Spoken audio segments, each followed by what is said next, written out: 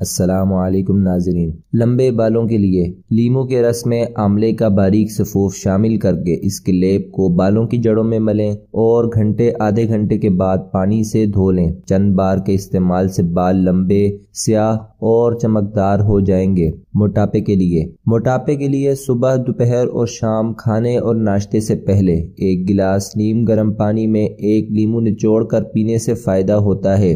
जी चाहे तो इसमें एक चुटकी नमक शामिल कर लें। मोटापे से निजात के लिए ये भी ज़रूरी है कि नाश्ता अच्छा किया जाए और बाद अज मगरब, खाना सिर्फ़ भूख लगने पर ही भूख रख कर खाया जाए। तेजाबियत और मैदे के जख्म के मरीज़ मालिज से मशवरा ज़रूर करें। यरकान के लिए। यरकान यानी पीलिया के मरीज़ को भी रोज़ाना नाश्ते के बाद लीमू के रस में दो चीनी और मीठा सोडा एक चुटकी मिलाकर ठंडा पानी शामिल करके बतौर शरबत पिलाएँ। यही शरबत शाम में भी दें, इससे यरकान दूर हो जाएगा और जिगर की असलाह होगी। चेहरे के दाग धब्बे। सुबह मुँह धोने से पहले लीमू के दो टुकड़ों पर साबुन अच्छी तरह मलकर उन्हें चेहरे पर मलें और नीम गर्म पानी से मुँह धोएँ। इससे चेहरे के दाग, धब्बे, छाइयाँ वगैरह दूर हो जाती हैं। हसास जिल्द वालों को एहतियात से काम लेना चाहिए। उनके लिए बेहतर है कि लीमू के रस के बराबर ग्लैसरीन और अर्क गुलाब मिलाकर ये मरकब इस्तेमाल करें। हेजे से निजात का अनोखा शरबत। इस मर्ज का जब भी ज़ोर हो, सुबह शाम लीमू का रस चीनी मिलाकर